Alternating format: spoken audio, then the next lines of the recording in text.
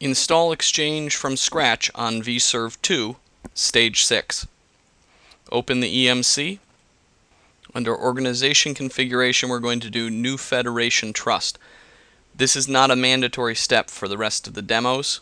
This just allows free/busy information to be shared with the outside world. Click New.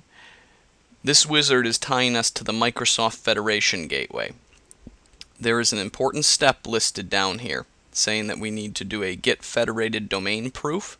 we do that via the exchange management shell.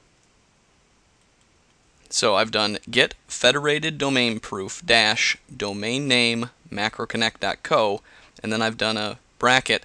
I'm going to output the results to ctemp.txt. The reason I did that is we've got to copy something from ctemp to our DNS server. The line we want is this proof line, so I'm going to put that on my clipboard. Going back to our DNS server, the one we used in the previous video, I'm going to create a new text record, which is on under Other New Records, Text, say Create Record. And we paste in the contents. Then I'm going to click OK. we're done with the DNS server. So we can close out of this, and we can close out of the management shell. Finish the wizard. And now there's a Manage Federation. So we're clicking that.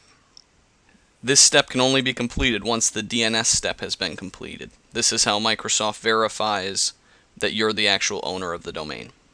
Hit Next. Click Add. Click macroconnect.co. Click Next.